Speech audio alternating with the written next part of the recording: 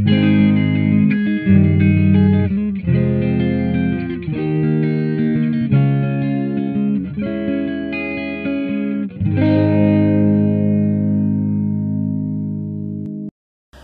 gente, tudo bem?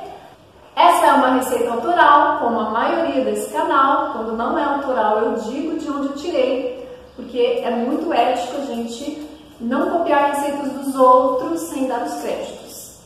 Bom, essa receita é a minha versão de bœuf bourguignon, que é uma receita francesa, que é um cozido de longa duração de um pedaço de um limão morto e que dá muito bem para fazer em versões vegetais. Então essa é a versão que eu criei, usando o miolo da jaca verde. Na verdade, é a primeira vez que eu cozinho o miolo da jaca verde, eu já resolvi testar fazendo essa receita. Eu espero que vocês gostem, que curtam, se inscrevam no canal se estiverem gostando do conteúdo, aquela coisa toda. Obrigada e até a próxima! Anote os ingredientes. Esses são os ingredientes do ensopado em si, tá? Você vai precisar de 500 gramas de miolo de jaca, assim, pré-cozido. Assista esse vídeo aqui acima para saber como chegar nesse miolo. 200 gramas de cogumelo Paris fresco. Uma, uma cenoura mais ou menos desse tamanho aqui, tá? Um talo de salsão e sete cebolinhas dessa pérola. Pode ser essa redondinha ou aquela que é mais oval, assim. Sete cebolinhas. Anote os ingredientes do molho. Uma xícara de vinho tinto seco. Um vinho bom, tá? Não tão caro, mas não pior do mercado.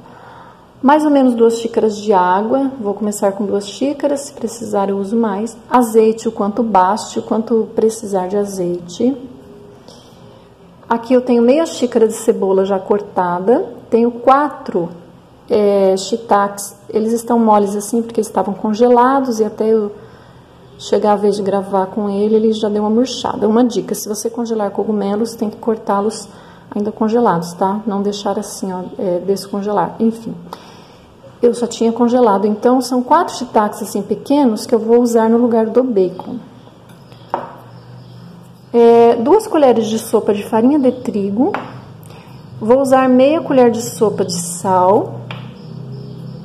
Você pode ir pondo sal aos poucos e provando. Uma colher de, de sopa de extrato de tomate, não é molho, é extrato de tomate. Pimenta do reino a gosto. E aqui eu vou usar dois dentes de alho, assim um pouco grandes, tá? E aqui eu tenho umas ervas. Eu vou usar dois talos de sálvia, que eu tirei aqui as folhas, aí fica esse talo que eu ainda uso. Um galho de tomilho.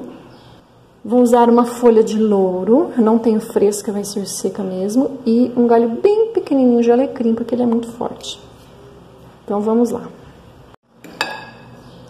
E agora, eu vou mostrar como eu cortei. A cebola já tinha cortado, né? O shiitake eu cortei em cubinhos pequenos, o alho em brunoise. Né? A cebola, então, se eu tivesse encontrado a pérola, que é compridinha, pequenininha, eu cortaria ao meio. Como essa era grandinha, eu cortei em quatro. Você, se você cortar em quatro, você sempre tem que tomar cuidado para essa parte aqui que liga ficar em todos os pedaços. As ervas, eu sou a única cozinheira do mundo eu acho que faz isso. Porque as pessoas põem galinha de tomilho e depois tiram e jogam fora. Eu me recuso a jogar as folhinhas fora, então o que eu faço?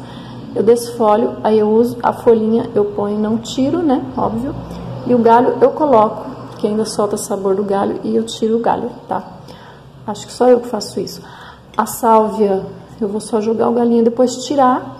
Então, todos esses aqui eu vou tirar depois, tá? Menos as folhinhas do tomilho. Isso aqui seria o buquê garni, né? Você amarrar um monte de ervinhas, depois tirar e jogar fora. Mas eu nem amarro, eu ponho assim, grande, depois tiro, pequenininhas não tiro. É, o miolo de jaca eu cortei assim, cubos mais ou menos desse tamanho. A cenoura eu cortei em meia lua, não muito fina, tá? Salsão idem. E o Cogumelo Paris é o mesmo caso da cebola. Se você encontrar ele pequenininho, bem pequenininho, pode pôr inteiro. Se for mais ou menos, corta ao meio. O meu era grande, eu cortei em quatro. Refogue no azeite o shiitake, o alho e a cebola. Acrescente o extrato de tomate. Sal, que eu esqueci de pôr na cebola. A cada etapa do cozimento vai pondo um fiozinho de sal que você. Se tiver tudo douradinho, acrescente a jaca, um fio de sal e refogue. Coloque a farinha e mexa bem para misturar, sempre em fogo baixo. Está seca e formou um queimadinho no fundo da panela. Você vai deglaciar com o vinho. Agora com o fogo alto, esfregue os grudadinhos para o vinho soltar tudo. Coloque o resto do sal e a água. Para ferver novamente, coloque as ervas e salsanha e cenoura. Abaixe bem o fogo e deixe cozinhar até a jaca ficar completamente macia. De vez em quando olhe e vê se precisa ir pondo mais água.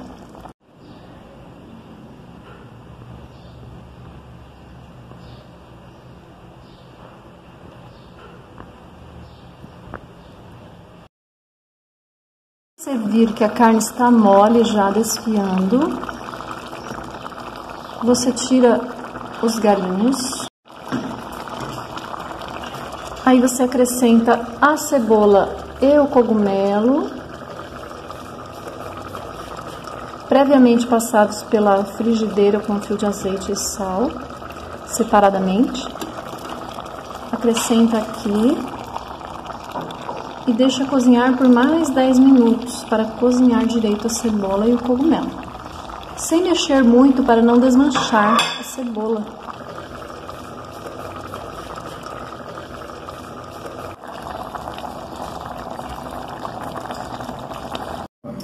Acerte o sal, coloque pimenta do reino a gosto e prontinho.